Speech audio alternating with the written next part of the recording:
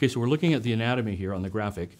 You have the ovary, the fallopian tube, the uterus, the cervix, and the vagina. Of course, in stereo, there's an ovary on each side, fallopian tube on each side, come together in the uterus.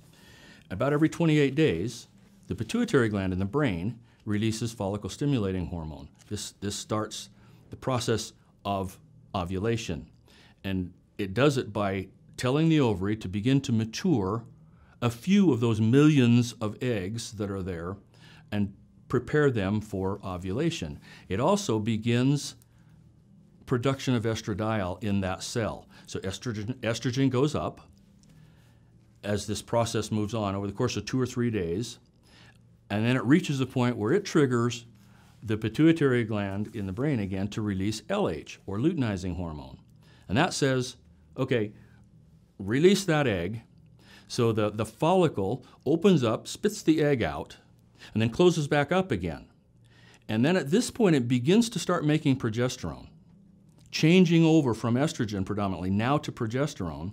And that egg is caught up in the fallopian tube. The fingers encircle it and pull it in, travels the length of the fallopian tube. Progesterone now is growing more and more from that empty follicle. And then we have what the, the boy's contribution. Okay, so we got a release of about 250,000 sperm. There's a lot because a lot of them don't make it. They're either defective or can't swim or shy, whatever you want to say. And it's a long journey. I mean, you go through the, the vagina, the cervix, the uterus, and clear to the other end of the fallopian tube, and they do it in about two and a half hours. But the egg has only 24 hours of life once it is uh, released by the ovary.